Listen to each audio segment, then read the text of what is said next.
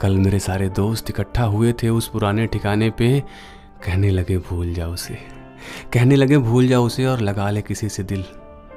लड़कियों की कमी थोड़ी ना है इस ज़माने में।